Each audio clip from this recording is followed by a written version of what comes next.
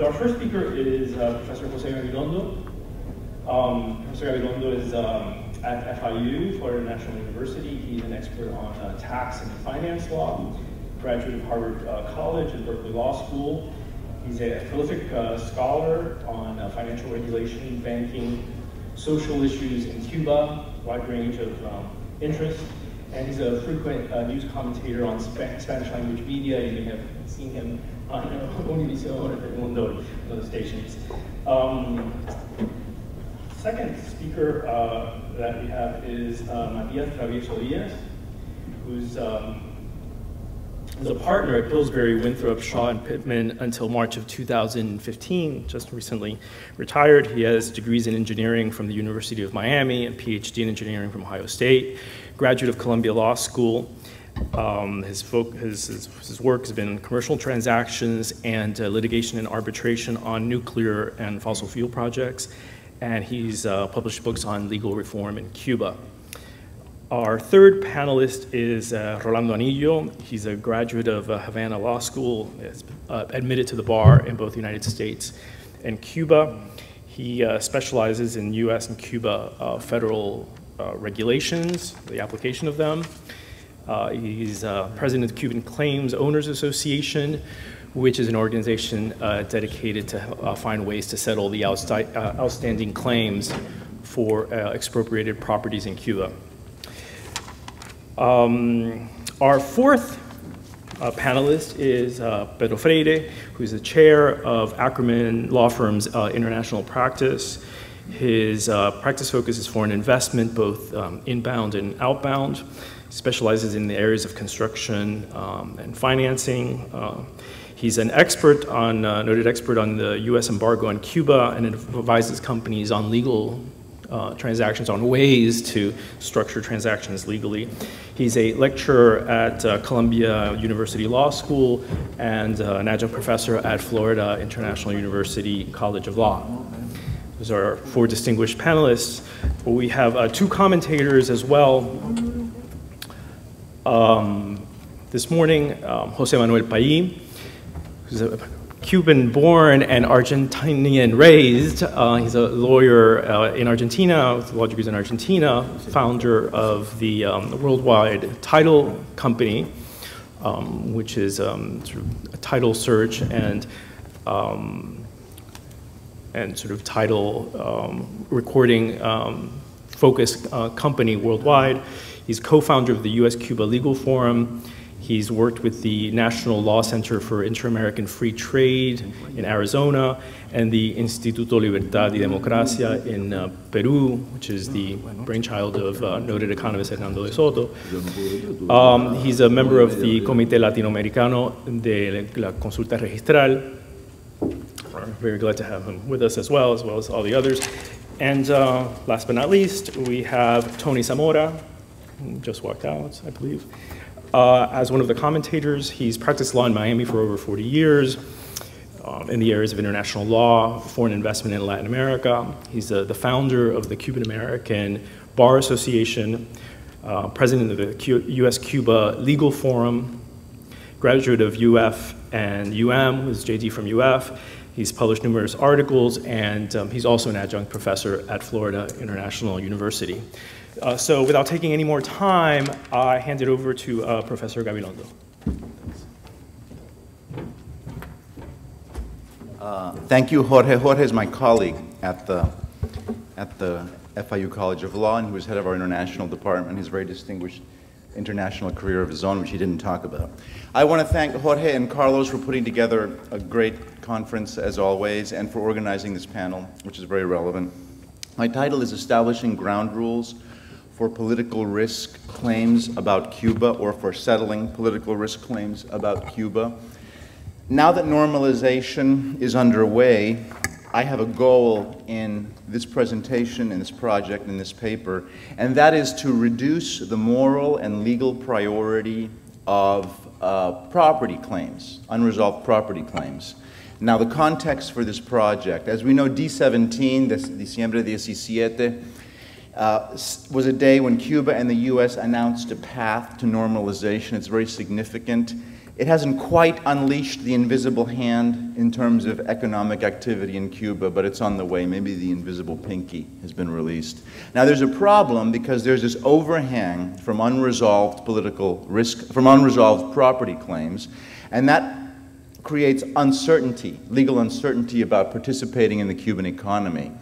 Now, it also has discursive impact. By discursive impact, I mean what's the impact in an argument when someone announces, my property was stolen? That's a showstopper, in the sense that human rights claims are also a showstopper that require participants to lock in certain polarizing positions and limit the kind of exchange that's possible.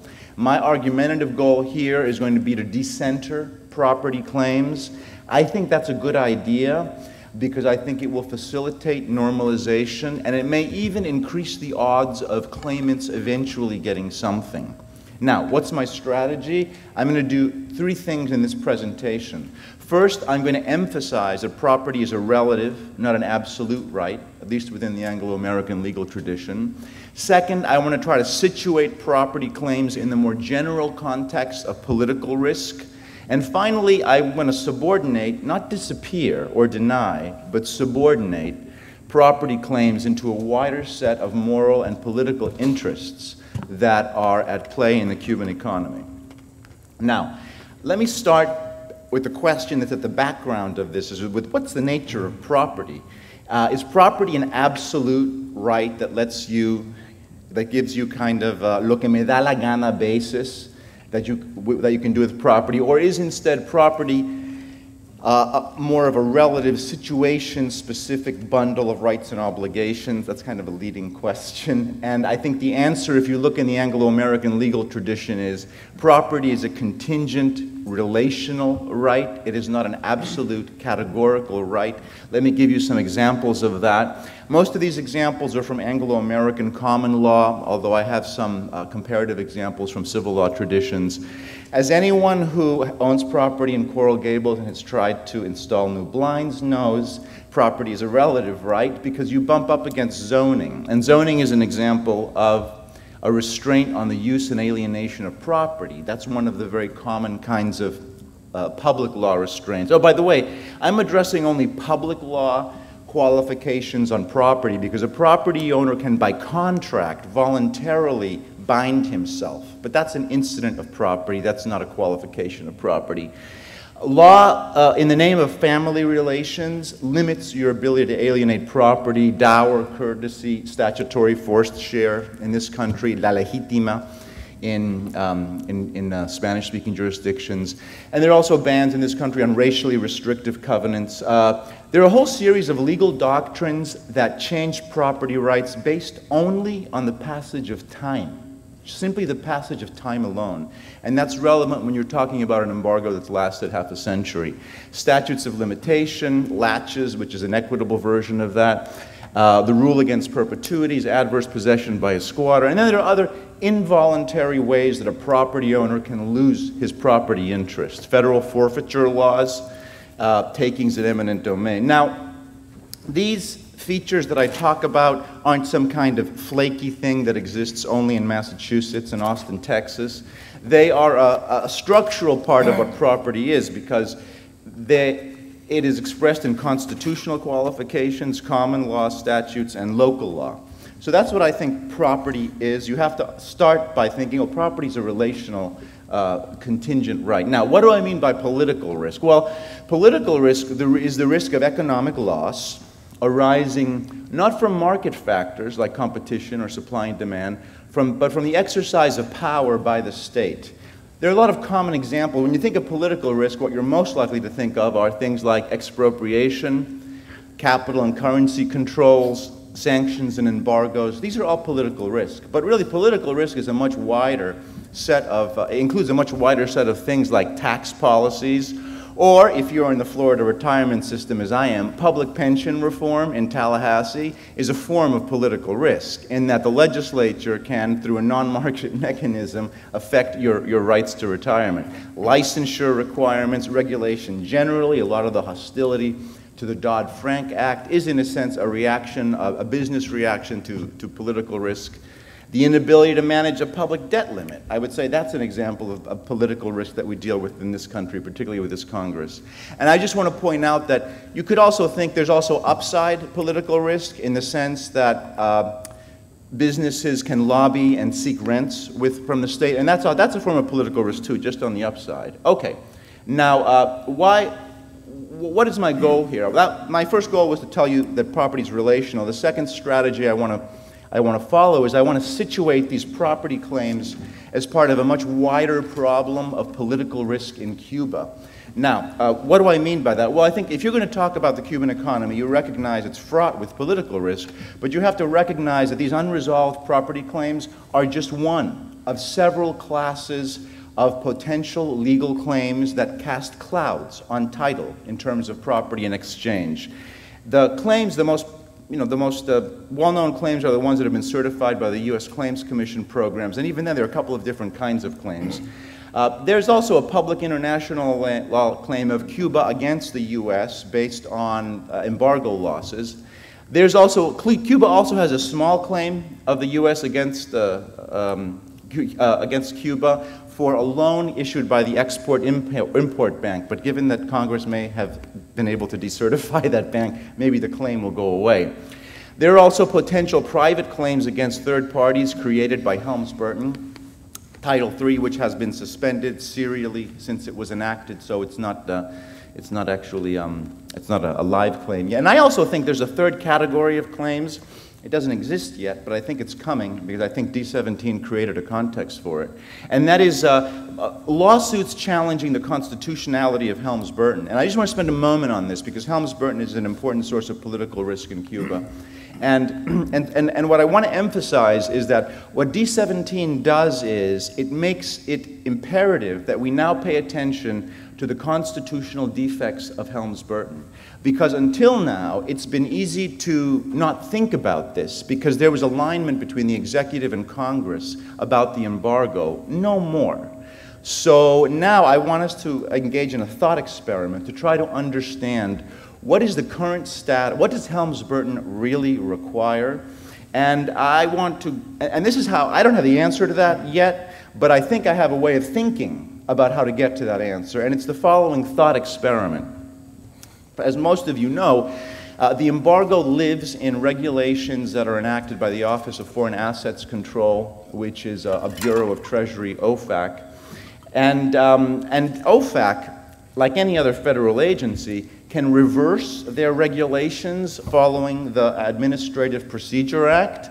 Now, uh, to implement cha this change in executive policy about, about Cuba, assume that OFAC repeals all existing regulations. They can do that. They have to follow notice and comment procedure. They can't do that unilaterally, but, and it takes some time. But they, can, they could decide tomorrow, we've decided to abolish all the regulations. Okay, now, what they would immediately encounter is that Helms-Burton created a legislative mandate, a statutory mandate, that certain rules be enacted. And so what OFAC would have to do is it would have to then say, okay, what is the, uh, the legislative mandate to create an embargo? Not the executive mandate because it no longer exists. But in other words, because what you have is a hostile executive and a, and a, Congress that wants this. What must we do? The question that OFAC would encounter, the question that would be encountered in lit litigation is well, how much authority does Congress have over this kind of international issue? That's a largely unresolved question. And I defer to the other experts on, on the panel uh, on, on, on uh, for any of this. Because what our Constitution does is it divides authority over foreign affairs between the executive and, uh, and the Congress. The executive is the principal actor. Congress has some authority. And what Congress tried to do in Helms Burton is take a snapshot and freeze the embargo. What's wrong with that is, is that much of the embargo is predicated on executive orders and executive authority that Congress doesn't have. So I think there's an authority deficit between executive and congressional authority. And so that means that when OFAC in this hypothetical thought experiment enacts minimum standards, they're going to prohibit many fewer things, but we don't know what they are. Now, and I think an analogy is sort of, uh, and, I, and I think you don't have to wait for Congress to act. They're not going to, because you have federal courts to resolve this question. And the gay marriage example is an example, because what you saw there was an executive that said, you know what, we're not, we don't think this federal law, law DOMA is constitutional anymore. We're not defending it. And so what you saw was the collapse of that law. So that's my Helms-Burton thought experiment. Okay, now I'm going to move into my third strategy, which is, well, apart from, um, if you're going to think about these unresolved property claims, what else is at stake? in the Cuban economy that we should think of in terms of political risk. And what I want to identify are not, this is not, I'm not going to articulate a mechanism that should be, that should be, I don't have a mechanism. What I have are, I think of as, you know, they're prerequisites. They're meta criteria, they're background assumptions that I think are pretty much necessary assumptions if any kind of mechanism is going to go forward. And so these are the interests, uh, the meta, meta criteria that any effective mechanism is going to have to have to promote. And I think there are four. And I'll explain what each of these is.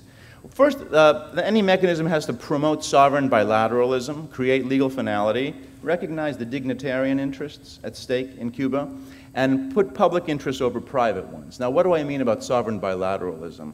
Well, I think as a foundational premise, you have to see Cuba and the United States as legal and moral equals in terms of public international law. Moral in quotation marks because countries have interests, not friends. Countries aren't moral entities, but insofar as they're moral or immoral, Cuba and the U.S. are equal when it comes to this issue.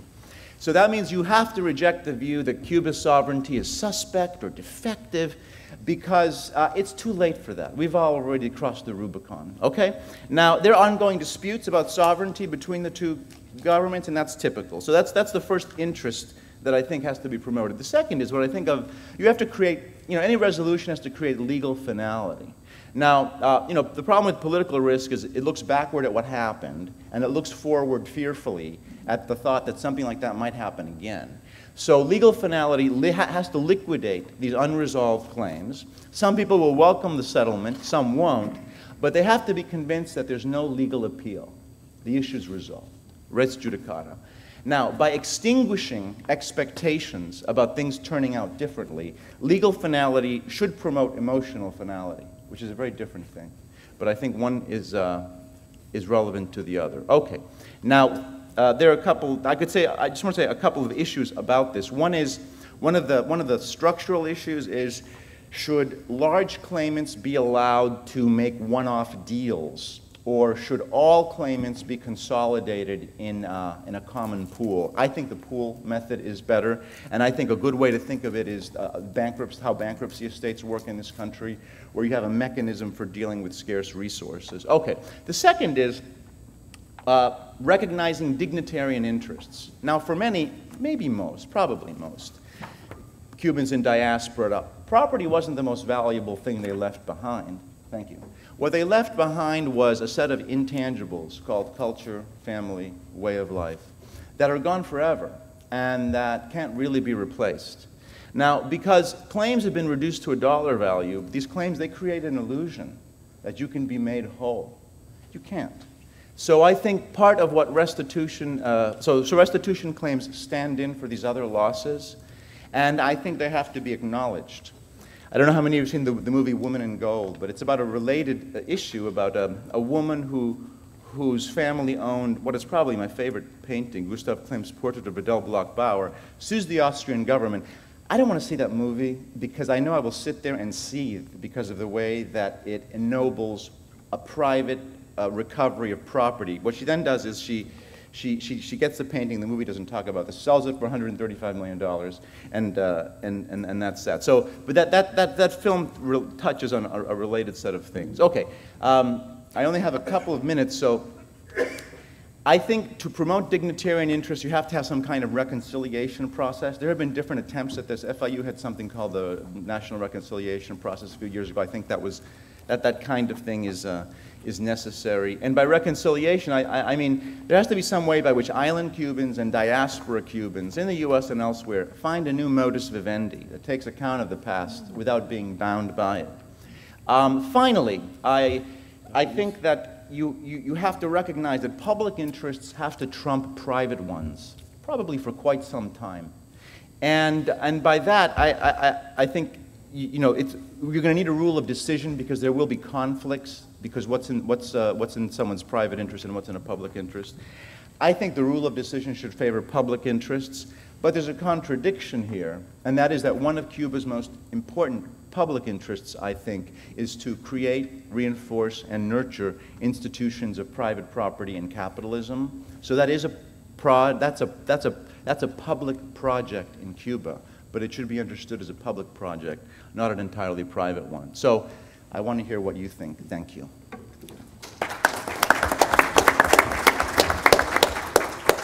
Thanks, Jose. Next, we have uh, Matias Travieso Diaz. Good morning. Can you hear me? Okay, fine. Uh, the title of my paper is Resolving U.S. Expropriation Claims Against Cuba, a very modest proposal I have a few extra copies of the paper here in case you would like to have one after the meeting is over.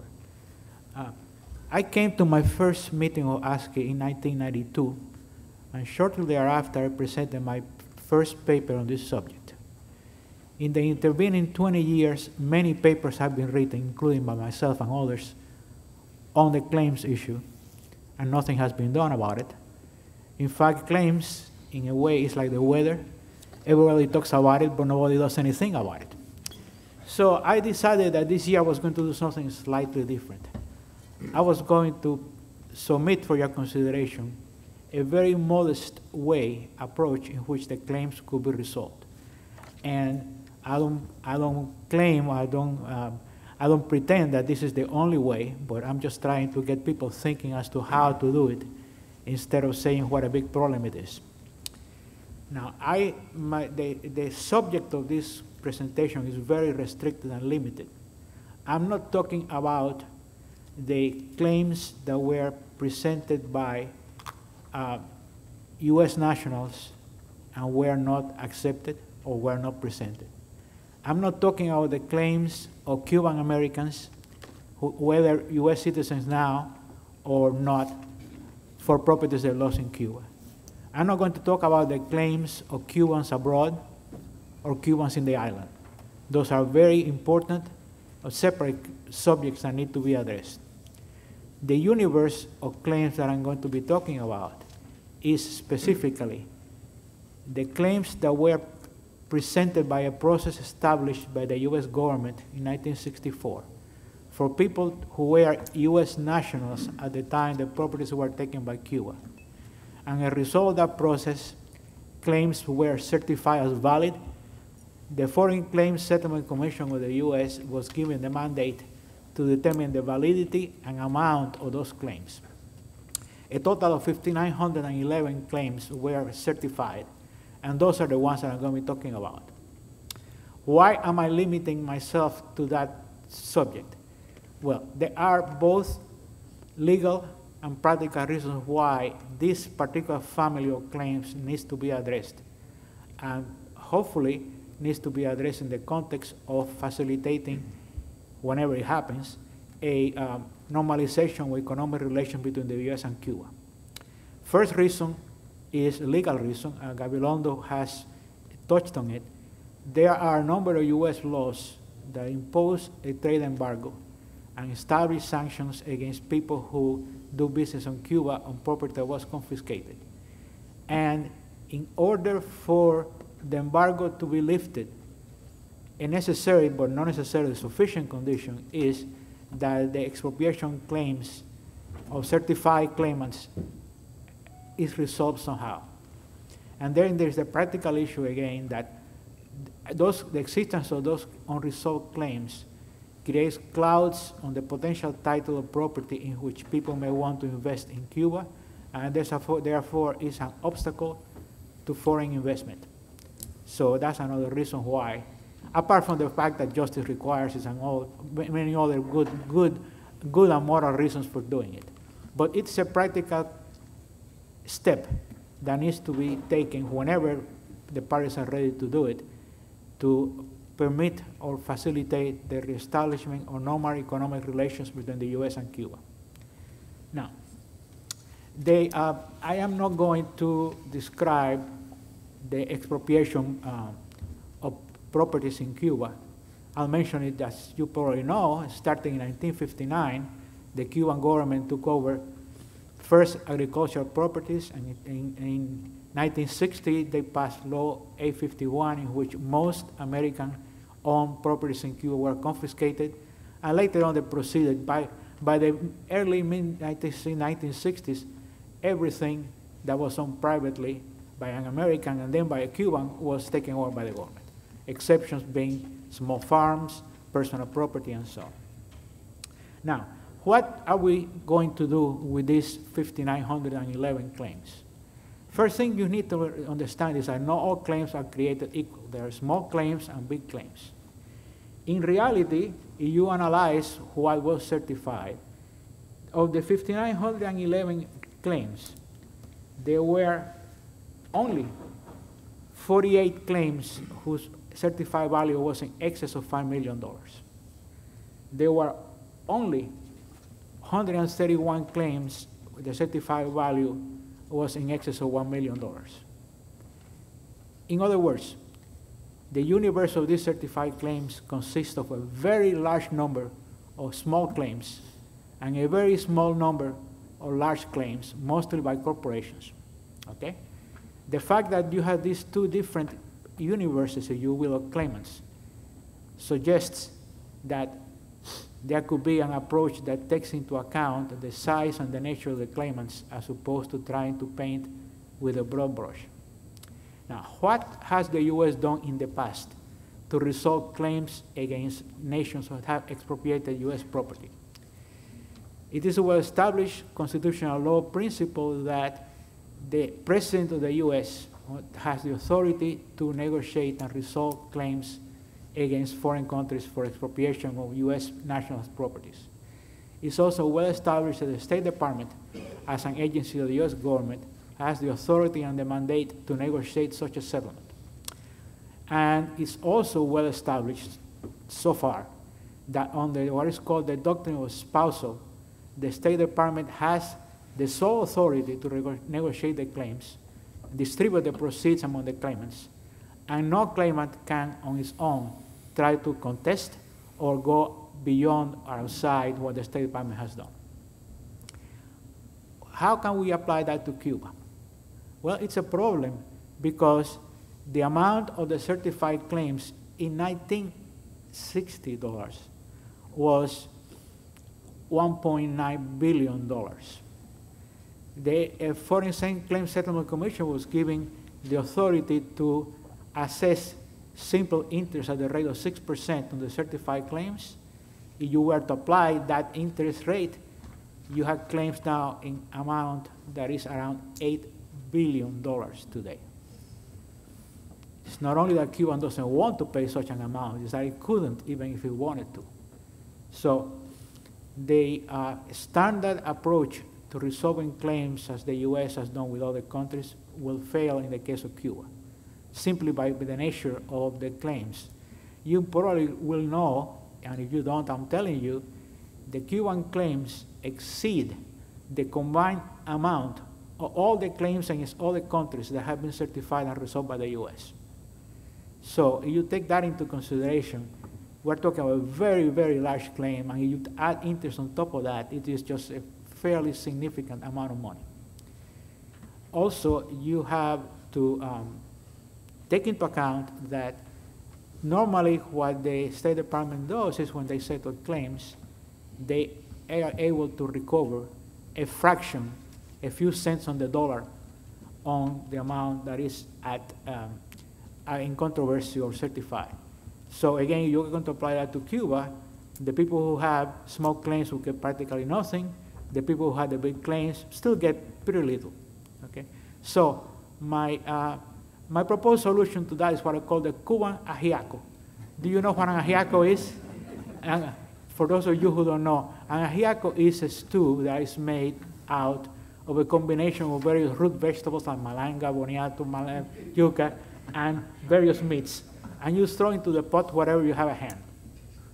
Okay, I'm going to propose an ajiaco. And this ajiaco is going to have three ingredients or three steps. The first ingredient is we have 5,811 claimants with small claims that you're talking about a million dollars or less. For those people, you could resolve those claims and give them 100% of the principal, no interest, but 100% of the interest at the cost of $164 million. It's a big sum, but not in the billions, so multiple billions. There is even potentially, and I want to underscore potentially, money available to pay for those claims because the U.S. has frozen Cuban assets, which, whose amount varies with the year. Right now, as of last year, last year that we have figures for, there were $271 million in frozen Cuban assets. Now, the availability of those funds is A, hypothetical, and B, in dispute. First, because they may, those, those frozen assets may not be Cuban, may be earmarked for Cuba by third parties, but not necessarily Cuban. And second, they are also potentially subject to claims by people who have court judgments against Cuba and so on. So it is even devoting that money to pay for the 5,811 claims uh, to satisfy those, it is not going to be an easy process. But at least in theory, it is a much simpler thing than trying to come up with $8 billion to $2 billion. So my first component of the ajiaco is try to resolve by payment of as close to 100% of the certified amount to the 5,811, the 90-some percent of the claims that are individuals who lost houses, who lost small properties, small industries. That would be the ajiaco that will have the most meat in it. Okay. The second is allow, which has, is not possible now um, on the practice, but, but the U.S. will have to make a commitment to let it happen, allow the people with the big claims to negotiate directly with Cuba to find a resolution that would meet their needs, that would be acceptable.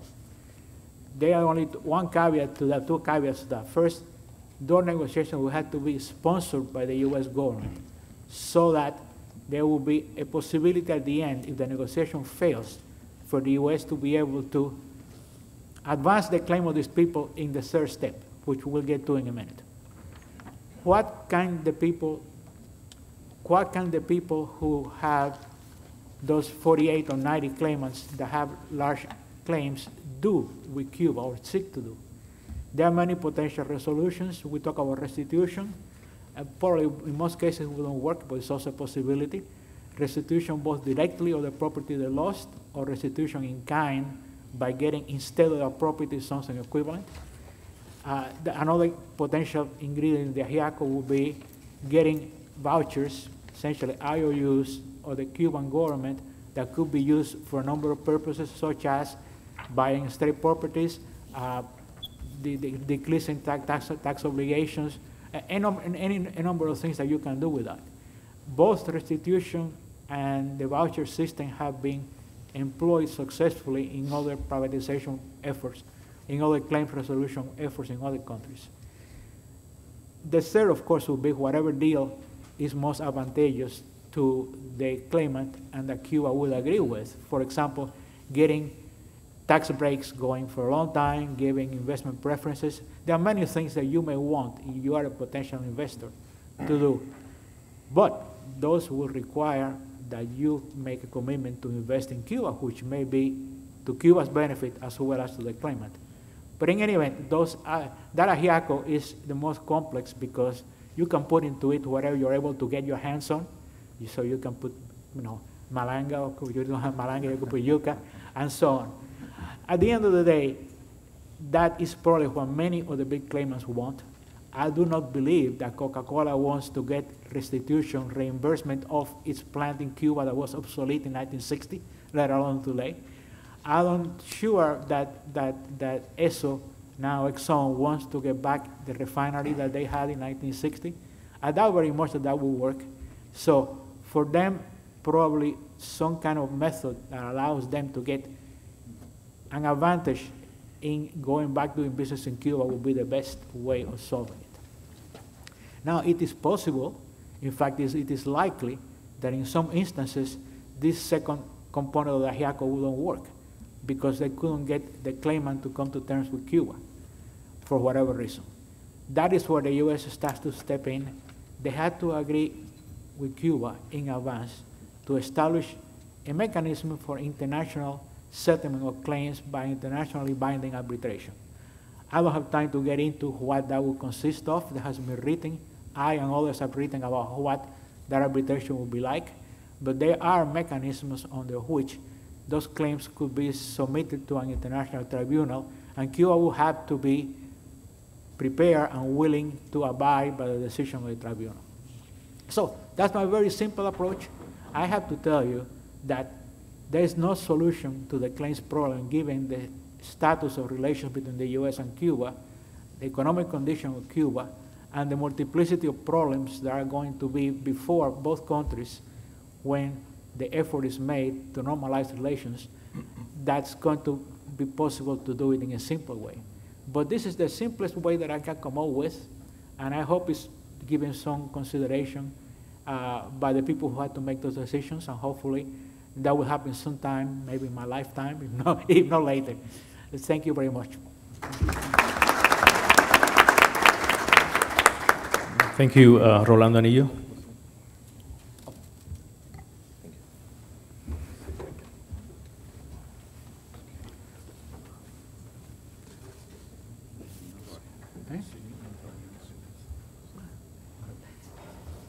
It's not, it's not rocket science, but yes. That one, yeah. Gracias.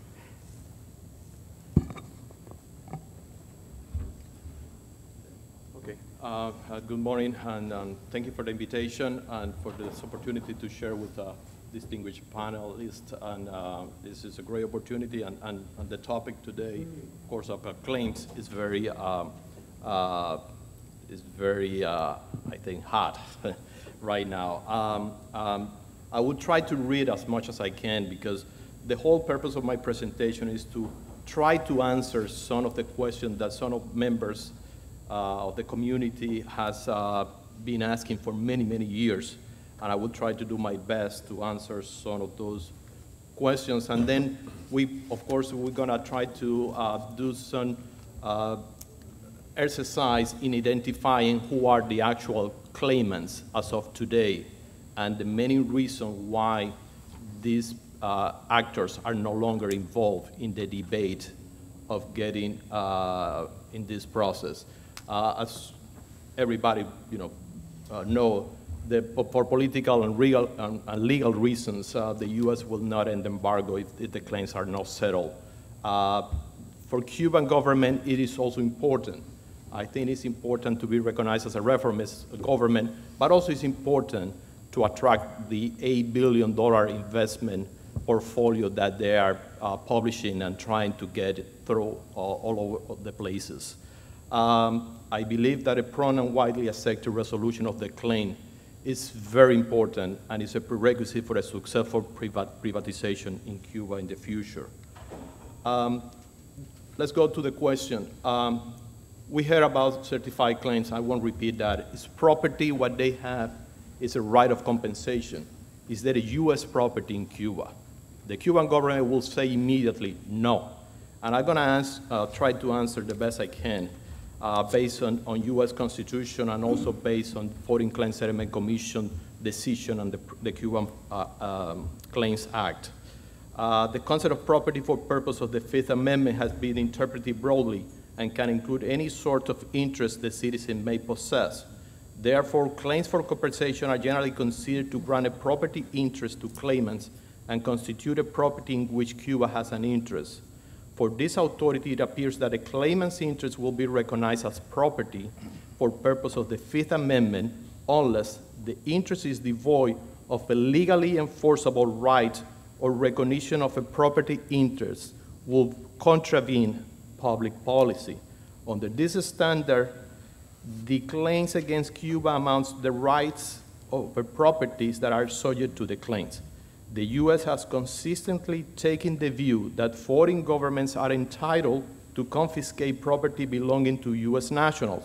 However, the United States has also consistently maintained that such a taking must be accompanied by appropriate compensation.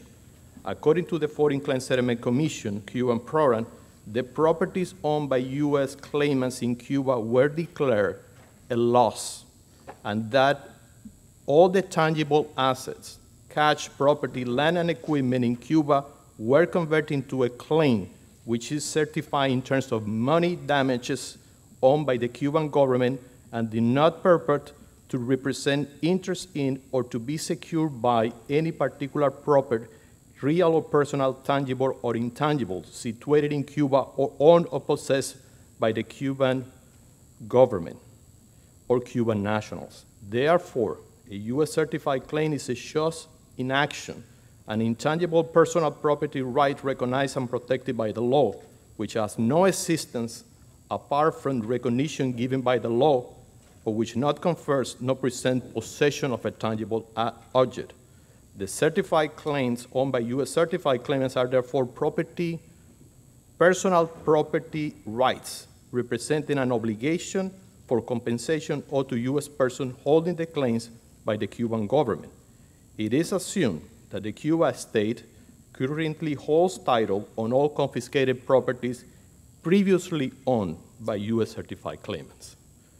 Okay, second question that is uh, more related to the Cuban nationals. Is restitution of residential properties feasible? There are some legal and, and, and social aspects. But I will try to answer uh, basically what happened uh, during the debate of the Helms-Burton first. The Helms-Burton, as you know, which is uh, codified the regulations, excludes from the definition of property most residential real property which was a necessary accommodation to avoid fears of dispossession or incurring liability simply by occupying a residence. Pursuant to the Helms-Burton, if there is a restitution, it may be granted without adversely impacting innocent and third parties, excluding members of the Communist Party or U.S. certified claimants. Basically, an ordinary Cuban citizen living in a residence previously owned by a Cuban national may not face a risk of depossession or personal liability under the Helms-Burton. This is the most difficult uh, and challenging uh, on all the confiscation of the confiscated property.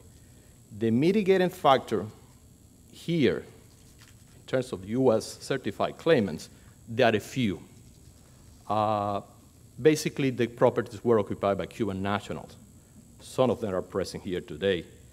The guiding principle should be that an occupant of a resident, residential property for a number of years under a claim of good title should not be dispossessed of his her property. Good title is in effect in Cuba is, is, is claiming various laws in Cuba, including the, civil, the Spanish Civil Code that was still in place in Cuba until 1988, which basically is the, the legal principle of usucapio that we know as adverse possession, which basically says that any person that having a good title and being uh, public and physical and, and, and, and uh, possessing the property is entitled to that. And we know right now that Cuba law just uh, made some amendments to the law, and this property can be freely transferred to other third parties. Okay, the other question are these, these counterclaims by the Cuban government legitimate in, under international law? As you know, uh, Cuba has a large counterclaim of about $180 billion for a alleged damage and harm caused to the Cuban economy and to the individual Cuban citizens by over five decades of U.S. trade and investment embargo. Cuba argues that the embargo has been an economic warfare for which a form of the best possible solution is to settle this claim, legitimate or not. with a comprehensive financial assistance package to Cuba. Such plan may include the lifting of the embargo, resuming U.S. foreign aid, reinsertion of Cuba into the World Bank, IMF, and International Inter-American Development Bank for accessibility of needed capital. For the Cubans, an open economy, rule of law, transparency, and high standards protection and guarantee for the investor are needed. The entering the U.S.-Cuba bilateral investment treaty will be the ultimate goal. Now, let's talk briefly about default judgments. Uh, what is the burden for future Cuban governments? It's huge. One claim only uh, is about $3 billion. Uh, Cuba was included in the list of terrorist countries from 1982 to, to just recently uh, uh, that it was uh, removed from the list. In 1996, uh, the Foreign Sovereign Immunity Act was amended, and they opened the possibility to uh, uh, sue the Cuban government for the cause of act of torture, extrajudicial killing, aircraft sabotage, hostage taking, and provision of material support or resources made by an official employee or agent of Cuba. The first judgment under this new modification was related to the deliberate shooting down of the two civilian aircraft operating by Brothers to Rescue. That judgment, judgment, default judgment was about 188 million in compensatory and punitive damages. There are no really frozen assets in, in, in the US to take from this one. There is a new approach in how to get this resolved. The new approach is between the US Department of Justice, with certain way the uh, uh, help of the US to use some of the money uh, in, that has been uh, fines and penalty from uh, international banks uh, we know that the French bank has a penalty, huge penalty of a billion dollars, to probably get on a case-by-case basis to settle these claims. That's a part of negotiation today. Um, let's see if I can move quicker here. I think it's important to talk about this. Okay, now, is the president has the right to enter into a settlement agreement and a bilateral investment treaty with Cuba. Okay, three possibilities. There is an executive treaty. So the president has the power to enter into a settlement agreement with Cuba based on the convention uh, because Cuba and the U.S. are you know, parties on the Vienna Convention of the laws of the treaty. So the president can do it. But uh, the president decision and enter into an agreement may be challenged in court. The Article 2 of Constitution requires for the president to have two-thirds of the Senate approving a treaty. And the third one is going to be a congressional executive agreement where the president and the Congress will uh, discuss a potential agreement and will require majority approval. That one may be the most comprehensive, but it may take years to get this done. Now, I won't talk about the, uh, I think, let me go back for a moment. Okay, before we go enter into discussing pretty much, I think there are two important things here, principles that are important in, in this negotiation that are happening right now. The, the, the uh, continuity uh, nationality of the claimant. Just to make this very simple, the law requires that the person that has certified the claim has to be U.S. national at the time of the expropriation, at the time of the certification, and the time of the settlement any U.S. certified claim that has been transferred to foreign entities is disqualified for compensation on a government to government negotiation because the U.S. government will not represent interests of a foreign in this type of negotiation. The anti, speculation clause, the Cuban Claims Act, is very clear that any person that purchases a certified claim uh, legally or with a license is only entitled to receive the consideration, what they pay for that claim. The people that have been buying claims for many years, that we saw few of them, uh, will be entitled to receive what they pay for it. OFAC was very clear in 2008. That's called the anti-speculation clause. In 2008, OFAC said very clear that a license is required to transfer claims, unless by operational law, inheritance, there is a, a clear transfer from family to members of the family. Valuation, okay. Um, it doesn't matter if it is 1.9 or 1 billion dollar. Uh, what is important here that the value is what is going to be able to negotiate on a table. If it is 100 million, if it's 200 million, if it is 7 billion dollar. So basically, valuation is irrelevant even though that has been certified. But it was certified by ex parte, no adversarial contestant. The agricultural land in Cuba, they didn't, couldn't estimate the value. In some cases, it, it doubled the value of the land. Put it this way, uh, United Fruit acquired 200,000 acres of land at $1 per acre. Of course, a, a little over 100 years, but still, uh, that's, that's tax deduction. The Cuban government thinks that because some of the claimants got tax reduction, uh, they are no longer entitled to represent uh, in the negotiation. This is the U.S. government. That's wrong. Tax deduction was on a strategy. It was for 20 years. A lot of company transferred uh, the asset to other corporations to take advantage of those tax deduction. But doesn't mean that, uh, that the Cuban, let's, let's go this one pretty quick. This is the 20 most, uh, first 20, I put 19 because I combined ITT. Just pretty quick. Cuba Electric Company right now is a staple, you know, successor of Office Depot. I mean, Cuba Electric staple doesn't really make any sense. ITT received already $25 million for the use of the, the Cuban uh, comp telecommunication company. Now, Starwood Hotels is the owner of that claim, and Starwood owns Meliá Hotels in Spain.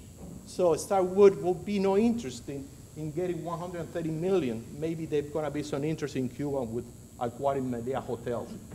The other ones, all the the majority of the sugar industry has been transferred to private companies that are really no longer in, in existence anymore.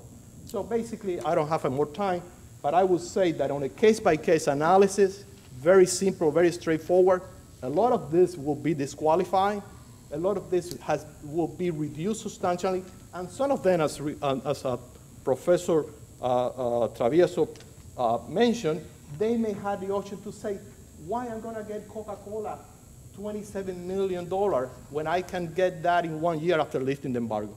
And that's about it. I don't have more time. Thank you so much.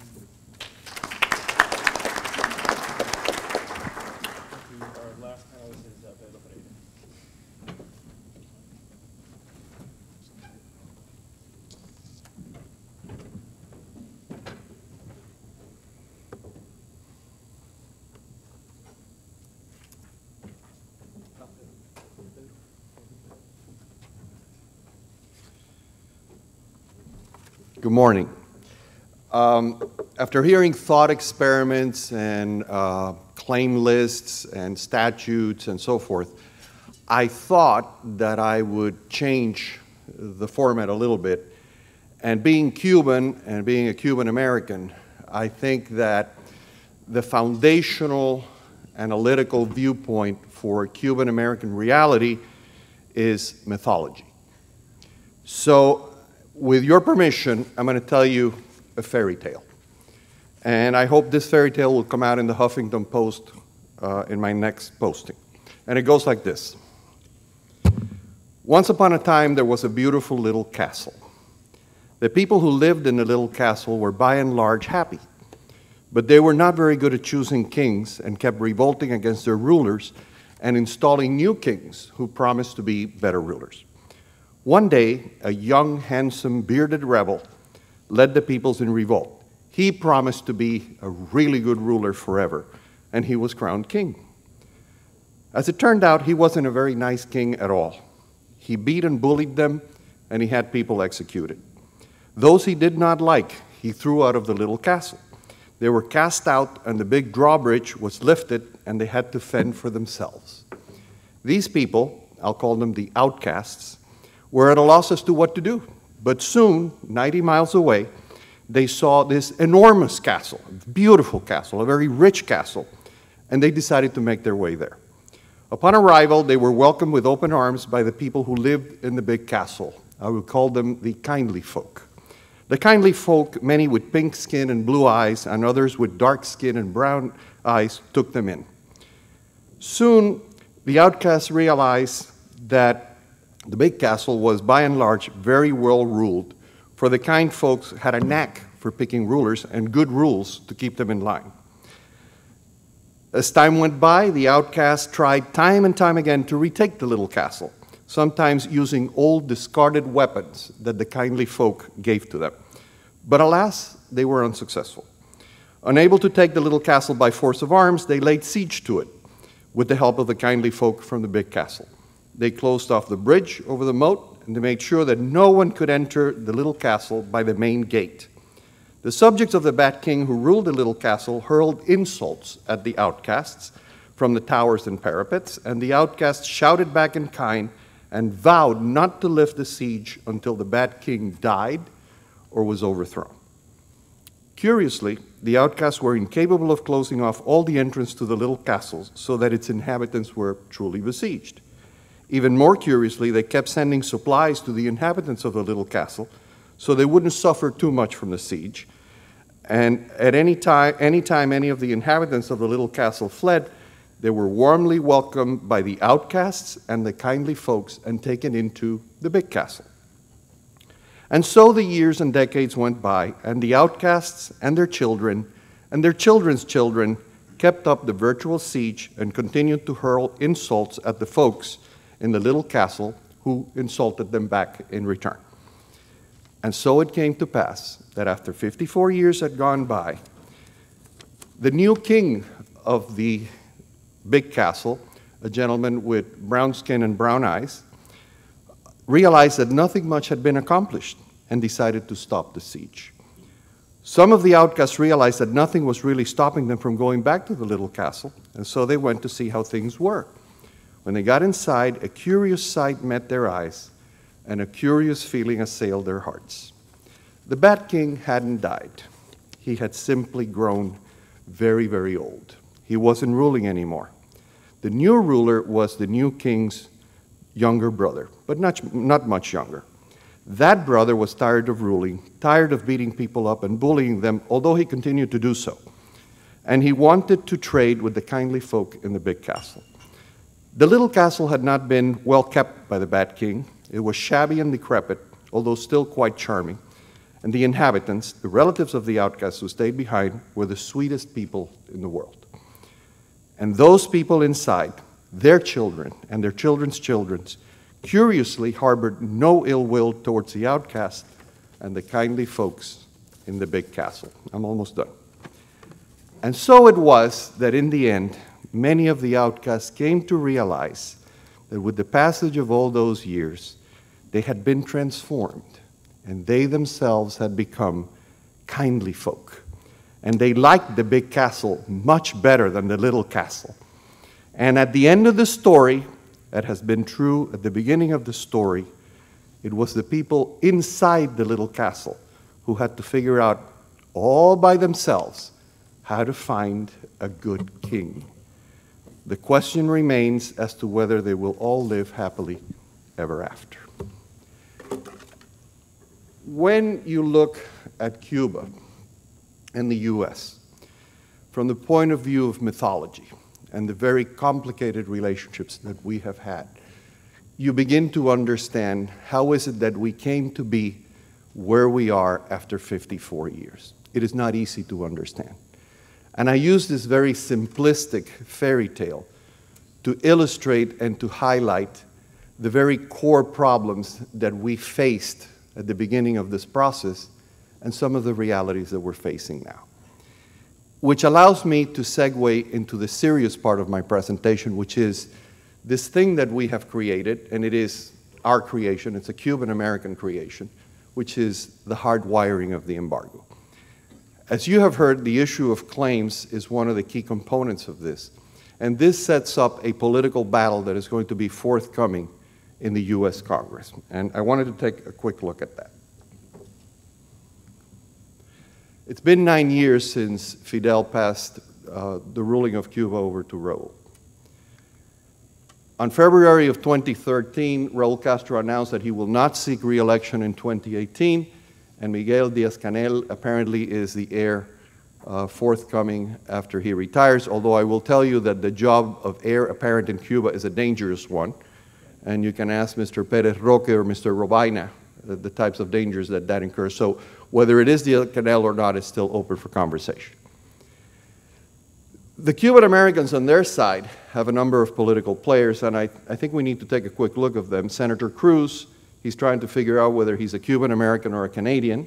Uh, Senator Rubio and Representative Diaz-Balart are very conservative. Uh, Representative Garcia is new to the game. Uh, Ileana Ros-Lehtinen is holding the line, and Senator Menendez is otherwise occupied at the time. But that's the lineup. Uh, that's the bullpen for the Cuban American side. This is kind of the core slide of what I want to talk about, and this is the order of battle in what is going to be happening in the U.S. Congress vis-a-vis -vis the embargo. And then I'll tell you a little bit later on about the hardwiring aspect of the embargo. On the side of maintaining the status quo eh, are the conservative Cuban American political interests, which we just saw. And the dilemma that they have is that their popular base of support is slowly eroding. They still have a tremendous amount of monetary support, and they have a hardcore of conservative supporters who get out the vote, make the contributions, mobilize people, and so forth. So they're still very much of a formidable force. But on the other side, you have a lineup coming in of the travel industry, the hospitality industry, agricultural industry, pharmaceuticals, energy, and infrastructure. And in a nutshell, I wanted to summarize the strategy of these two groups. The strategy of the conservative lobby for the Cuban American community is let's delay and hope that the other side, screws up, the other side being the Cuban government. And, and I'll show you an example of how they're perfectly capable of doing that in a moment. And the strategy of the other side, the people who want to have openings the embargo, is what I call the salami approach, which is let's slice this up like a salami. And the first piece of the salami that's up for grabs, and I think the first one that will fall, is travel, because that's a no-brainer. That's the easiest one of all to pitch. That's the one that doesn't require the settlement of claims. That's the one that has all the infrastructure on this side ready to go. And that's the one that Cuba will welcome with open arms very, very quickly. And it's already underway. Cuba has some challenges itself. The population growth in Cuba has been declining. It has an aging population and has a very heavy social welfare charge. So they also need to understand what it is that is coming their way, and they need to, and I think they've already done so, they need to start positioning themselves for negotiating a solution to the ongoing problem, one of the issues having to be the claims.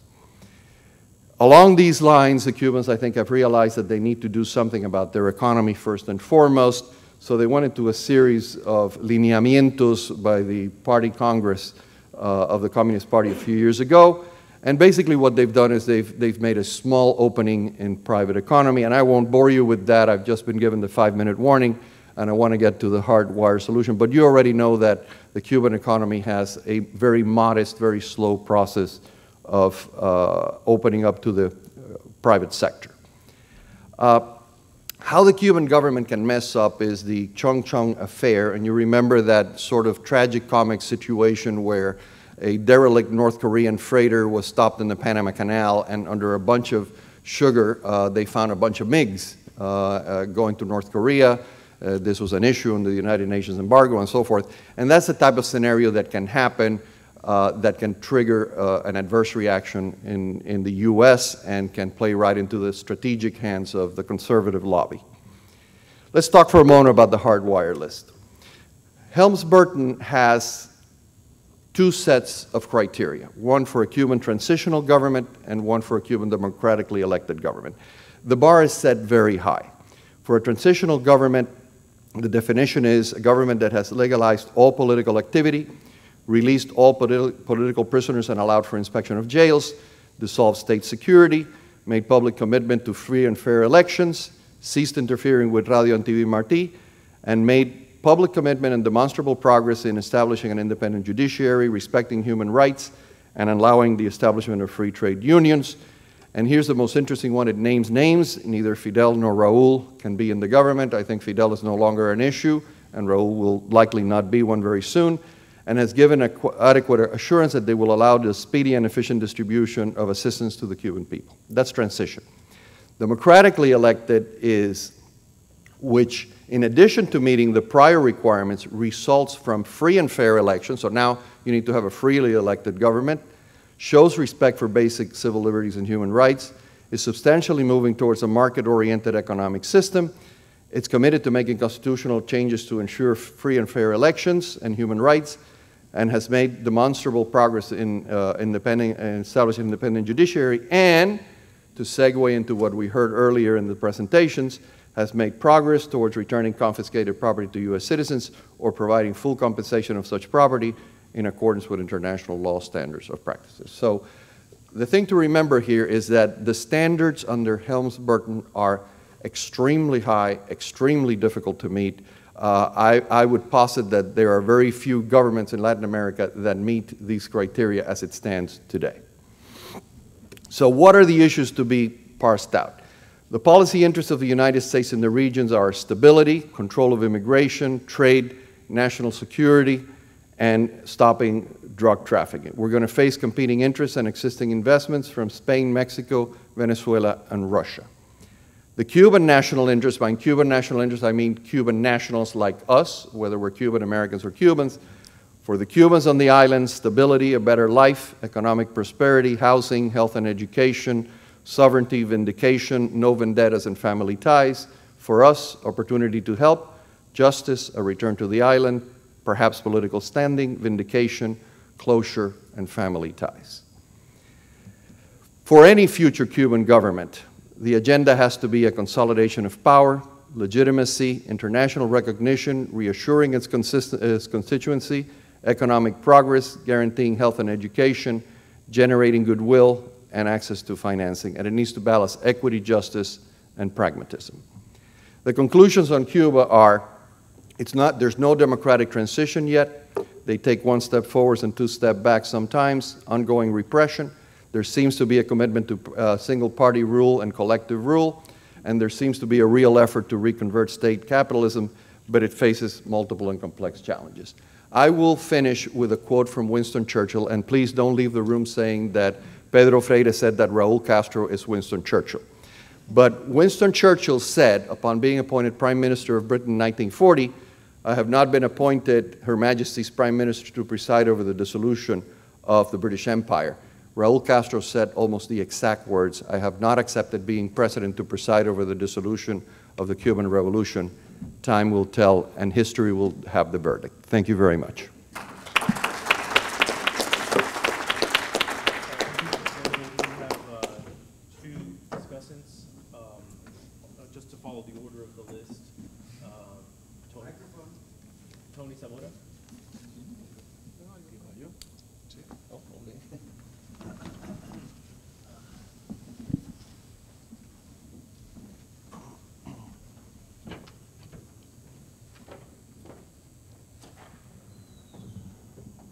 Okay, I'm, uh, my uh, job here is to talk about the presentations that were made, uh, basically having to do with the uh, real estate issues and the situation with the claims um, about real estate, which is part of what we're um, talking about here.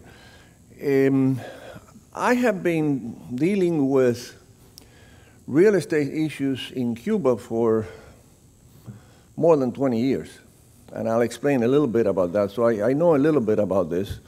One of the things that, that uh, uh, I would like to ask, and I asked this question uh, at a meeting at the University of Miami some time ago, how many here know that there were condominiums sold in Havana in the 1990s? Okay, that, that is more or less what I expected. That five people said or four people said.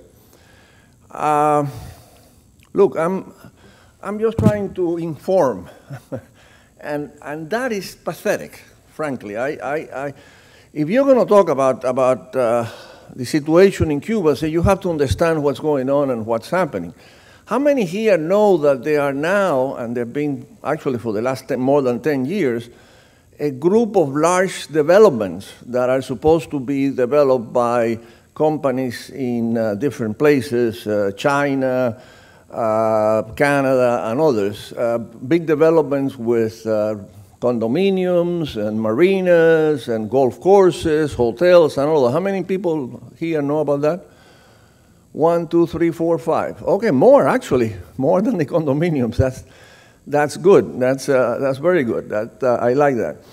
Uh, look, the, the situation that both um, uh, presenters that I'm uh, talking about, uh, Anillo, um, and, and of course, uh, Professor, um, my colleague at FIU, um, both are talking about these, the claims, the claims between the United States um, and uh, Cuba.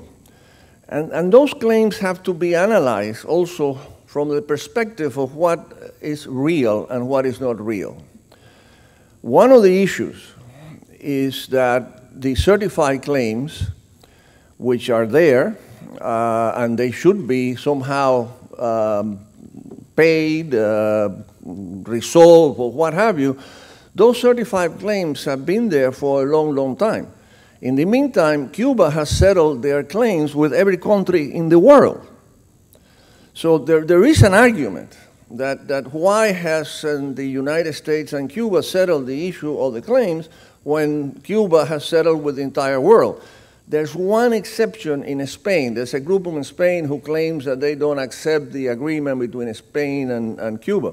But basically, all the claims have been, have been settled. So that, that's one issue and they, they, it was described very well by Anillo and so on and, uh, um, uh, in his presentation. What do we do about those claims? Well, I think they should be uh, resolved. This is one of the issues that obviously is going to be in the, in the future negotiations between Cuba and the United States that are now ongoing. Uh, they have to settle this. And I, am all for some sort of settlement of this, of, of this issue. Now, is it going to be 10%, 20%, 5%, or no percent? Uh, that's another thing that has to be decided, but it has to be resolved. The issue of claims have to be resolved.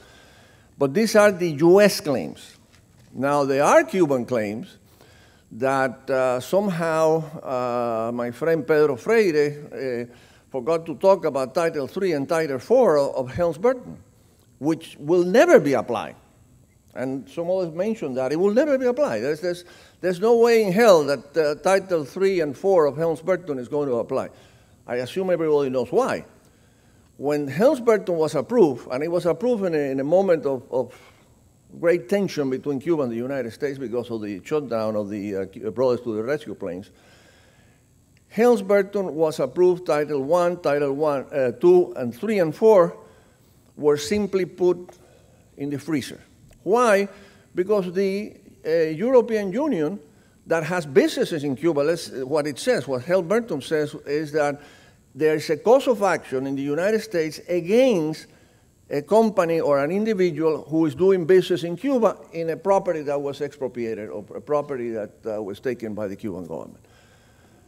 Uh, the European Union simply told the United States, if you do this, this is economic war, so forget it, you're, not going to do it.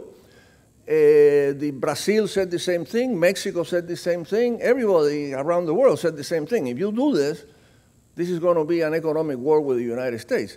And the president of uh, the United States, whether it's a Republican or a Democrat, they said the same thing. We're going to suspend the application of Title III and Title IV. And they have. Uh, in Title IV, in Title IV has to do with giving visas to come to the United States to companies that have businesses in Cuba and in property that was expropriated.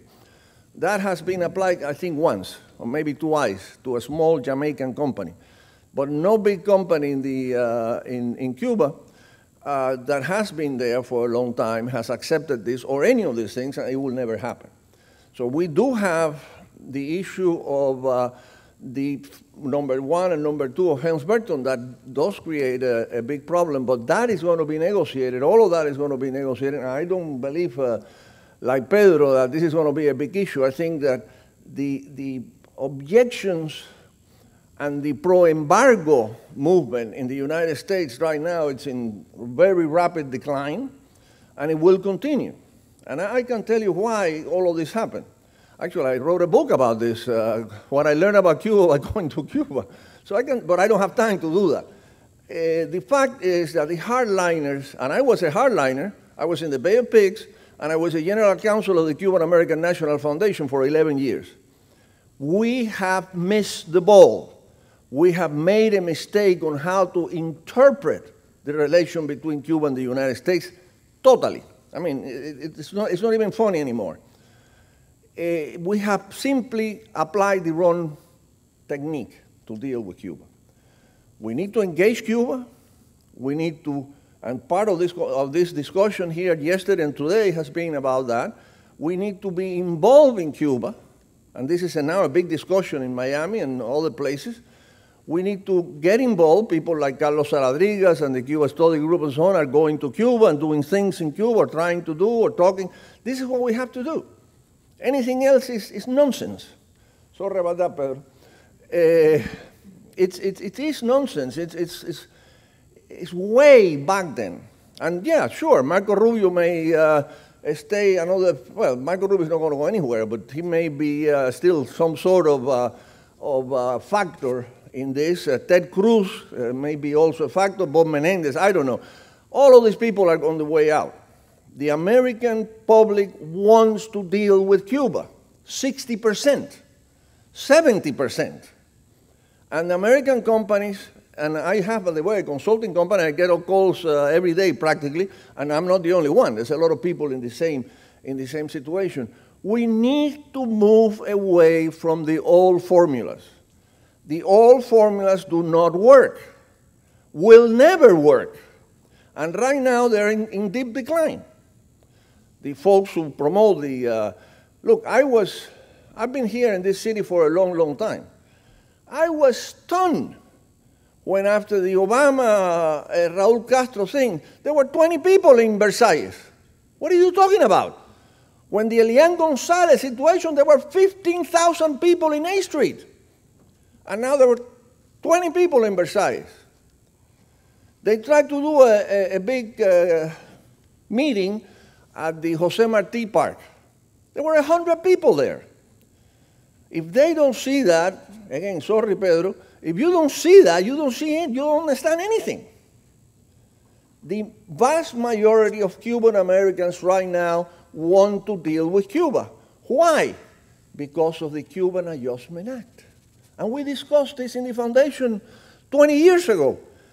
The Cuban Adjustment Act makes, allows Cubans to come to the United States, but they're not political refugees. They are people who come here to live better, to make money, and then take the money back to Cuba. And again, you don't understand that, you don't understand anything. We had this discussion in the 90s with Jorge Mas and Pepe Hernandez and all of that. This is a new situation because we allow the Cuban Adjustment Act to continue and all these people coming over. And the wet foot, dry foot, all of that, we did, we did that. And we knew that if the, we didn't get some resolution of the Cuban situation early in the 90s, there was not going to be any resolution that we liked because the changes in the relationship between Cuba and the United States. I'm sorry if I got uh, carried away, but, but I think we need to, we don't understand, and this is a very important, ASCE is a very important organization. We need to understand where we are so we go to some place that is better than what we have now.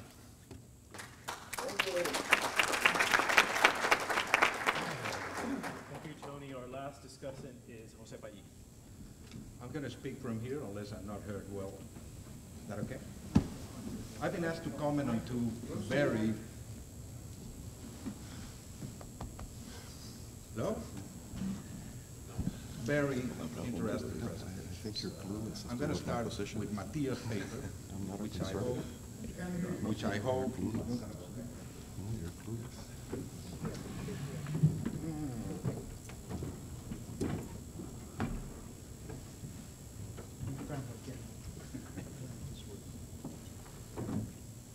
here we go. I'm gonna start with my paper, which I hope you all read when it becomes available through the ASCE's uh, uh website and so on, because it is one of the most balanced, non-ideological writings that I have seen on this topic of the claims. Very well thought. It's very practical. And I think it is something that is worthy of being presented not just here, but in Cuba. And I'm going to try to tell you. Uh, first of all, I, I've always had a very hard time getting along with economists, but I do happen to have a lot of friends of that persuasion. So, and when I was invited many years ago become part of ASCE, I asked her, why? I'm not an economist. Uh, are there any lawyers there? And they said, yes, we have one. And that one was Matias, who is very humble and very discreet, but he's one of the founders of ASCE that is celebrating? Wedding anniversary today? Silver wedding anniversary. Yeah. His paper, and I have read a number of papers from Matias on this topic, is very good, very thorough, and his symbol of using the ajiaco for purposes of resolving this conundrum is a very, very opportune symbol. Uh, there's one thing that I don't know, and that is something that we all have to realize. That ajiaco is going to have a number of ingredients that do not come from our side, or from our perception of this problem. They will necessarily come out of the legal brief that's going to be presented by Cuba.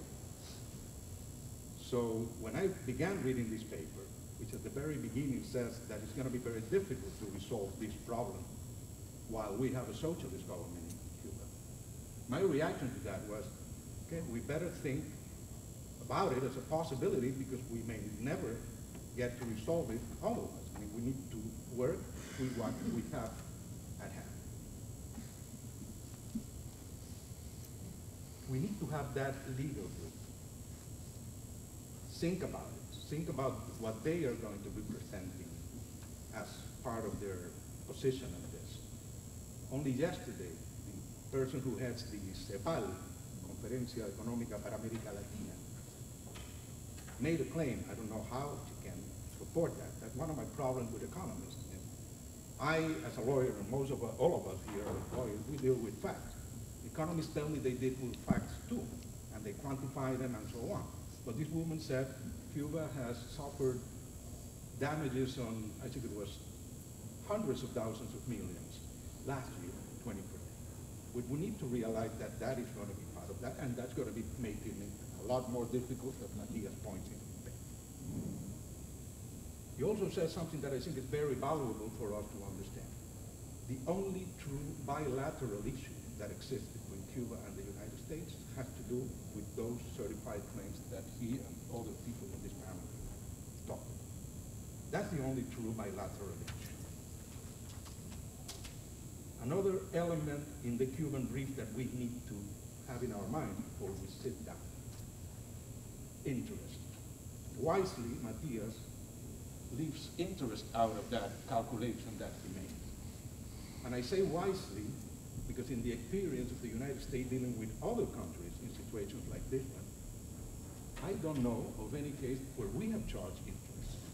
Cuba has two issues regarding the valuation of these claims. One is the valuation itself. They will contest that. And they will definitely contest the fact that interest in the international law experience is not something that you add to claims like this.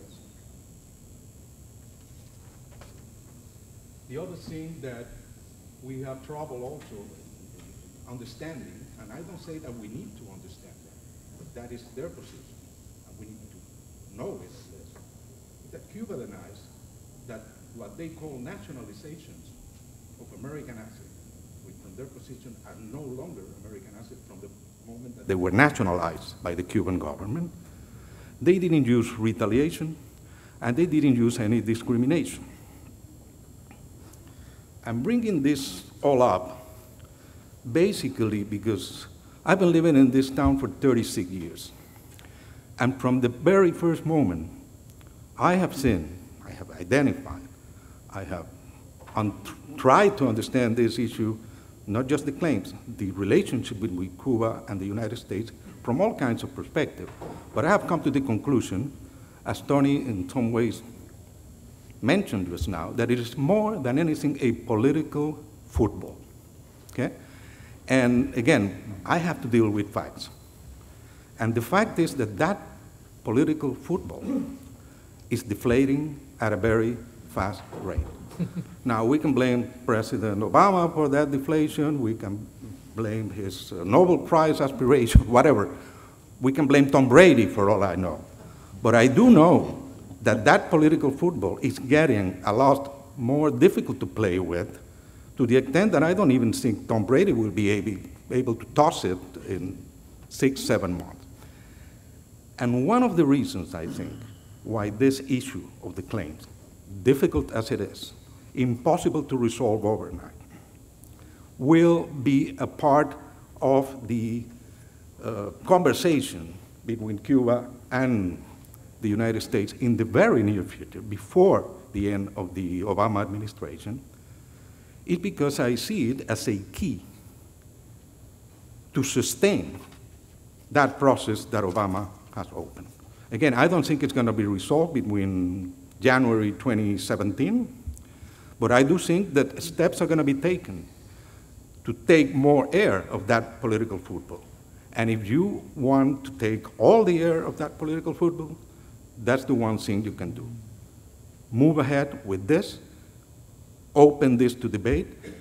And what is surprising is that uh, uh Matias was telling me something this morning which is absolutely true in the sense that it's something that you can easily verify.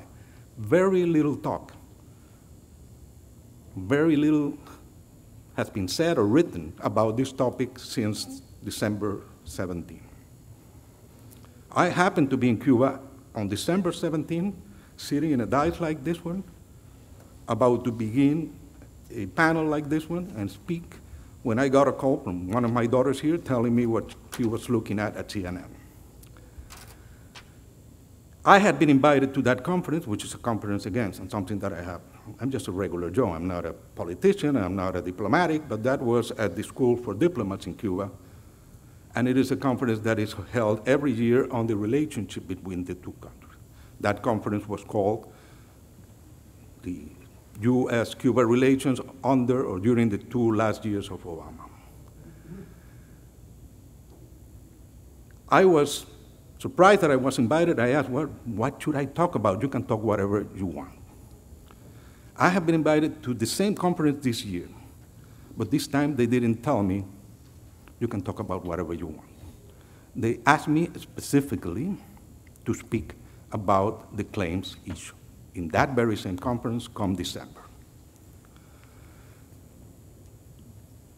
Cuba has an interest in discussing this, and their position is also that nothing, nothing has prevented them other than the unwillingness of the United States in terms of discussing it. Going back to Pedro, Pedro said something that very similar to what uh, he's talking about the slicing of the salami. And again, this slicing of the salami is not going to be done just by us. It's going to be done, going to be shared with other people. But when I heard what Pedro was going to talk about, and I look at the title of this conference, which is What's Next? I have an answer for that, and I have a question for Pedro, because I truly understood this as the hardwiring by the embargo laws and the interplay that that hardwiring has right now, after December 17, with the new OFAC rules, so on. I think that those rules and regulations were supposed to be changed this same week. Is that correct? I haven't heard it happen yet.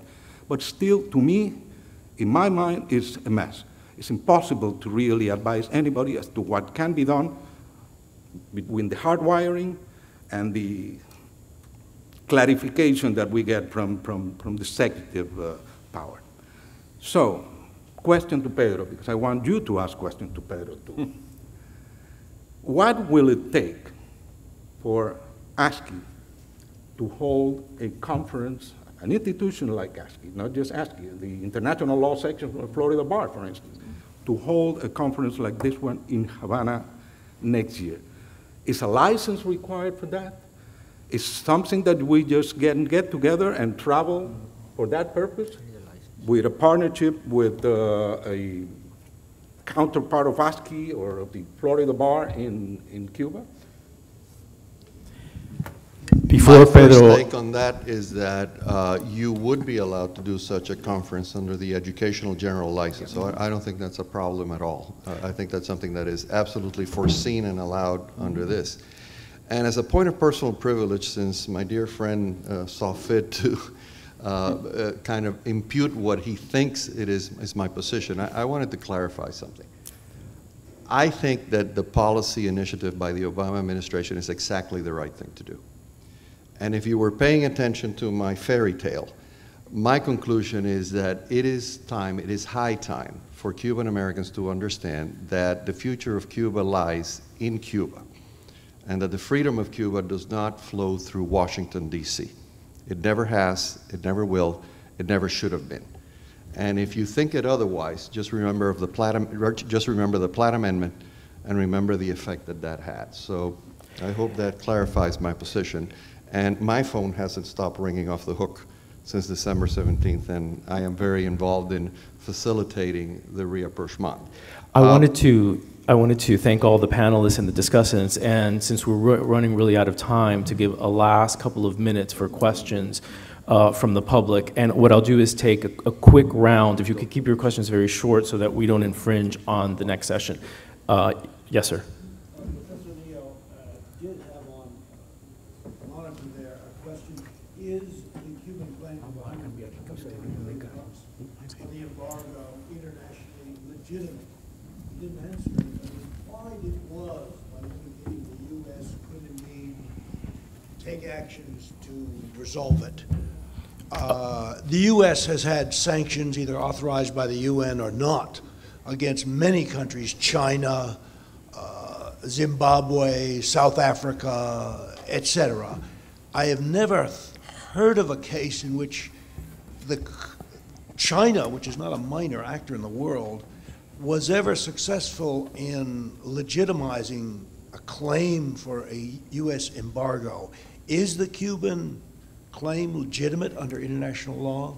An- another question right here in the center. Yes, you had a question.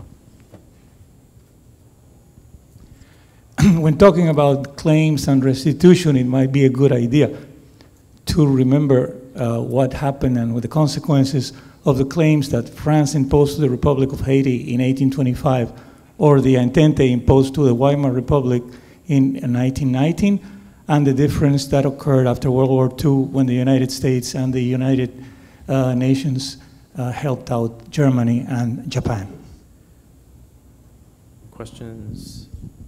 Right up, up front. Yes, sir.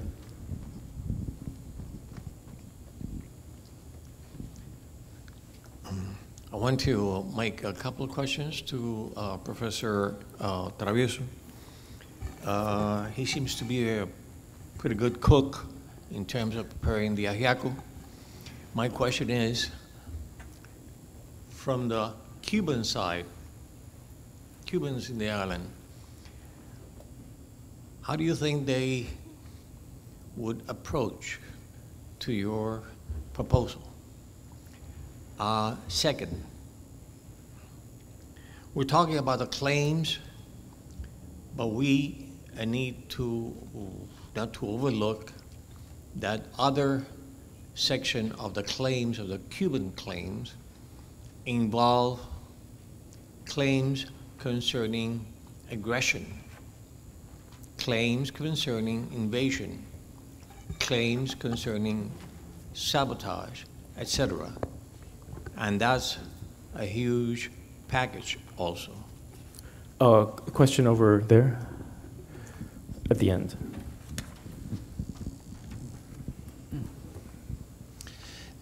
Yes, uh, Pedro, the story that comes to mind is Alice in Wonderland when she faced, uh, what is it, Cheshire, the, the cat Cheshire, and asked, you know, which way to go.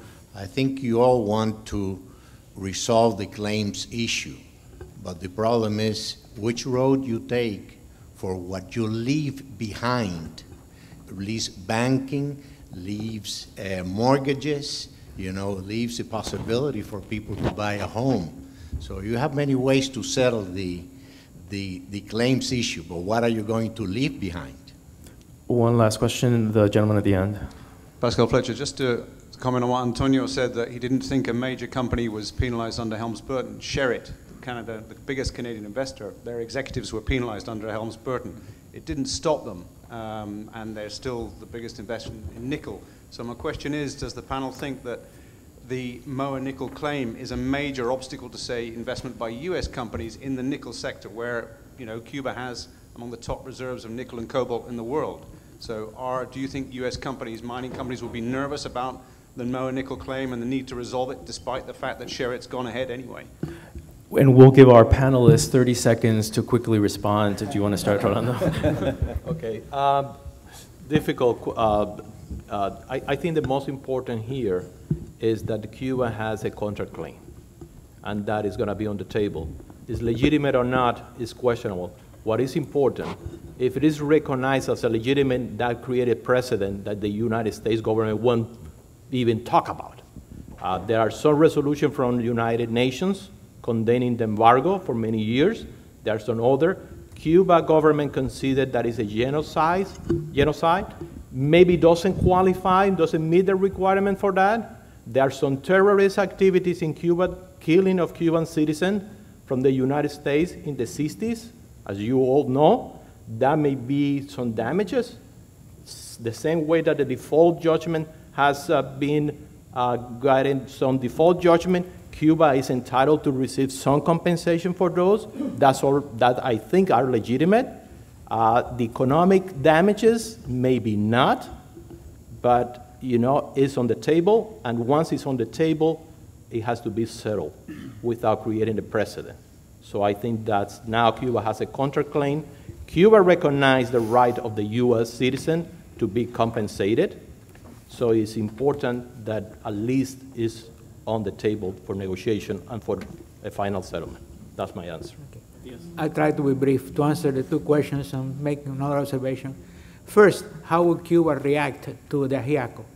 well, two things. First, Cuba's position on this and other things has been to delay as much as they can and try to get by as cheaply as they can, which is understandable, not necessarily approve of it, but that's, so they would like the Ajiaco to the extent that the amount of money that they had to come up with is greatly reduced.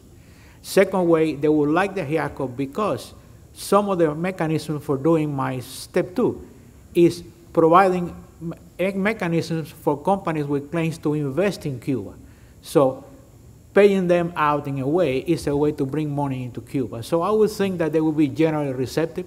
They will raise many hackles and objections, but the, in principle, I think that if you slice the salami thinly that way, they will probably be willing to buy it. Second, the question that was just raised about the legitimacy of the Cuban claims against the U.S. raising from the embargo. Without getting into any detail, I would answer two ways. First, it's unprecedented and is not recognized by international law.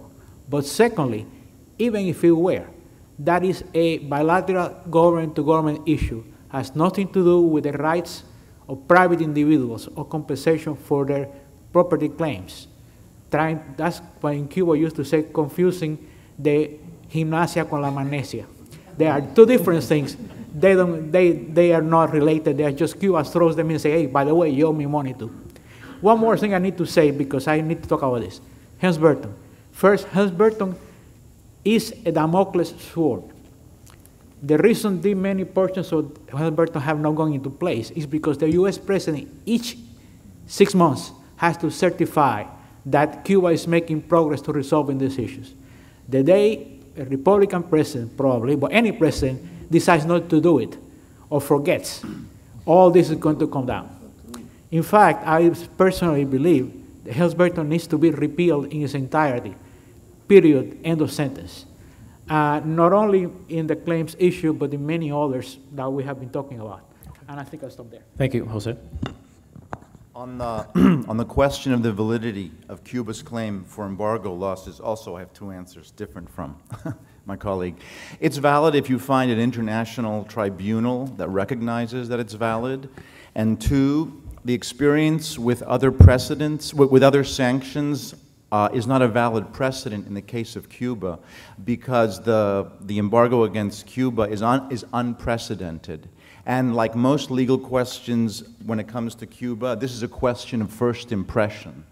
So that precedent is less important. And also, public international law, it's not Anglo-American common law. Precedent is less important to begin with.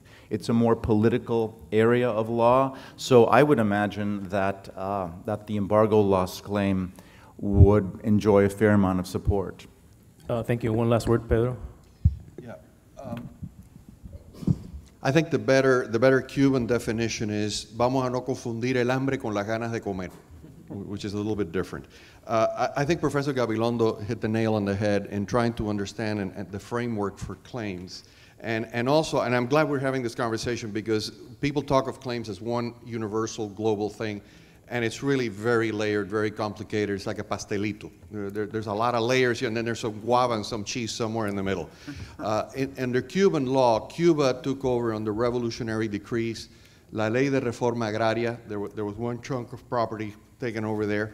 La Ley de Reforma Urbana took other chunks of property. There were corporate uh, nationalizations that the last round took place in 1967. And then there were some laws having to do with people who left the country and left their properties behind. So even at the Cuban level, even for Cuban nationals who lost their property, this merits an entire conference with Cuban attorneys and Cuban governmental officials participating so that we understand the fundamental foundation under Cuban law for any claims that may arise thereunder. Thank you. Thank you very much to our panelists, discussants, and to all of you. I hope you enjoy the rest of the conference.